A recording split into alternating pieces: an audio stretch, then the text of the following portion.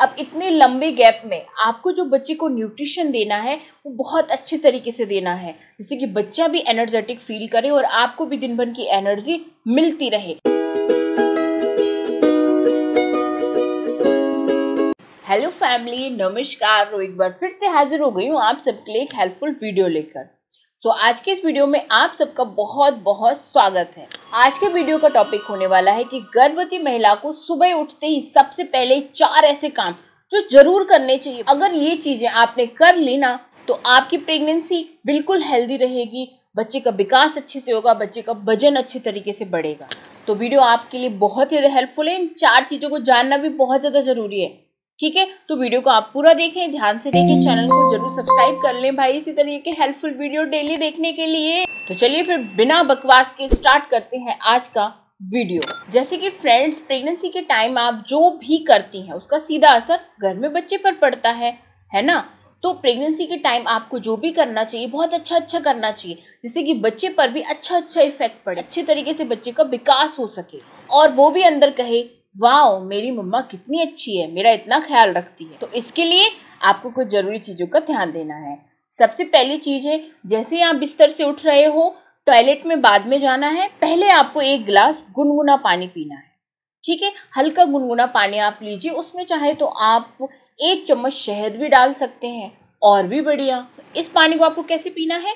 कि पहले आराम से बैठ जाना है। चेयर पे आप बैठ जाइए और आराम से सिप सिप करके चाय पीते हो ना, वैसे ही सेम तरीके से आपको इस पानी को पीना है। जब पूरा ग्लास ख़त्म हो जाए, फिर आप टॉयलेट में जाइए फ्रेश होइए, जो भी आपको करना है वो कीजिए। लेकिन आपको पहले बिना ब्रश के, बिना कुछ भी करे पानी पीना है, हल्का गुनगुना। अब आप सोच रहे होंगे, इससे क्या होगा? तो मैं बताती हूँ क्या होगा। कि आपकी कब्ज की दिक्कत खत्म हो जाएगी, आपका डाइजेशन सिस्टम सही रहेगा और आपका ब्लड सर्कुलेशन भी बहुत अच्छे तरीके से होगा। चलिए, ये तो हो गई पहली चीज़। अब बात करते हैं दूसरी चीज़ के बारे में। जैसे कि फ्रेंड्स रात भर के लंबे गैप के बाद इसके आप रात में आठ बजे, नौ बजे, दस बजे तक सो जाते हैं, उसके बाद फिर आप छः बजे तक उठते हैं। तो सोचिए, इतने टाइम से कितना लंबा गैप हो जाता है छः बजे तक। कितने सारे घंटे हो जाते हैं। अब आप सोते हैं, आपको खाने पीने की ज़रूरत नहीं होती है रात में, लेकिन बच्चे के साथ ऐसा नहीं होता है। बच्चे को हमेशा न्यूट्रिशन की ज़रूरत पड़ती रहती है। अब इतने लंबे गैप में आपको जो बच्चे को न्यूट्रिशन देना है, वो बहुत अच्छे तरीके से देना है। जिससे कि बच्चा भी एनर्जेटिक फील करे और आपको भी दिन भर की एनर्जी मिलती रहे। उसके लिए आठ घंटे के बाद जो आप ब्रेकफास्ट करेंगी सुबह, वो बहुत ही अच्छा आपको लेना है। ऐसा लेना है जिससे आपका अच्छे तरीके से पेट भर जाए और आपको काफ़ी सारे न्यूट्रिशन एक बार में ही मिल जाए। मतलब कि कैलोरी की मात्रा आपको ज़्यादा से ज़्यादा मिल सके। तो फ्रेंड्स सबसे पहला इसके लिए ऑप्शन है कि आप भीगे हुए बादाम ले सकती हैं। रात में से कि चार पाँच बादाम आप भिगो डाल दीजिए, सुबह उनका छिलका निकाल कर आप खा लीजिए।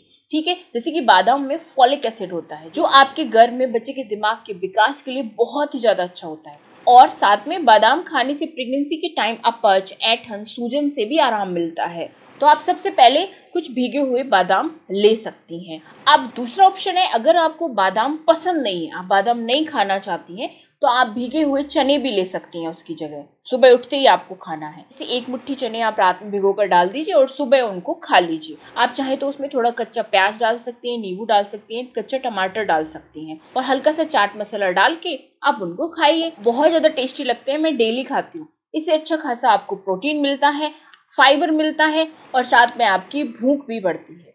तो चने को आप डेली खा सकते हैं। इसके बाद एक और ऑप्शन है, जैसे कि प्रेगनेंसी के टाइम पे आपको खून की कमी हो रही है। खून आपके शरीर में कम है। वैसे मोस्टली महिलाओं में हो ही जाती है प्रेगनेंसी के टाइम पे खून की कमी।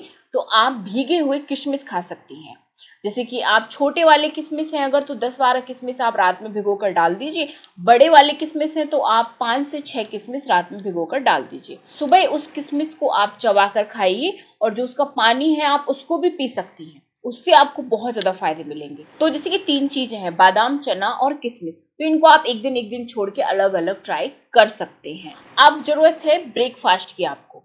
जो हैवी होना चाहिए। तो उसके लिए जो भी आपका मन करे, आप वो खा सकती हैं। आपका पराठा खाने का मन है, आप पराठा खाइए। गोभी का पराठा, आलू का पराठा, पनीर का पराठा, जो भी आपका मन करे, आप वो खाइए।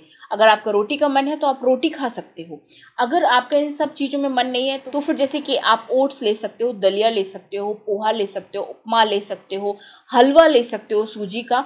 जो आपका मन करे, जो आपको अच्छा लगे, खाने का दिल करे, जो आप अच्छे से खा लो, वो आप ले सकते हो। लेकिन इतना लेना है जिससे आपका अच्छे तरीके से पेट भर जाए। जी भर के आपको खाना है। सुबह का जो ब्रेकफास्ट है, आपको पेट भर के ही खाना चाहिए। साथ में आप दो बॉइल्ड एग भी ले सकती हैं। जैसे आपने ब्रेकफास्ट लिया, साथ में दो बॉइल्ड एग ले लीजिए। उसमें नींबू डाल के, चाट मसाला डाल के, प्याज डाल के और खाइए। इसके बाद जैसे कभी कभी इमरजेंसी हो जाती है, हम ब्रेकफास्ट वगैरह नहीं बना पाते हैं तो उसके लिए भी ऑप्शन है। आप क्या कर सकते हैं, एक ग्लास भर के दूध ले लीजिए। ठीक है, हल्का गुनगुना दूध ले लीजिए, उसके साथ एक एप्पल ले लीजिए।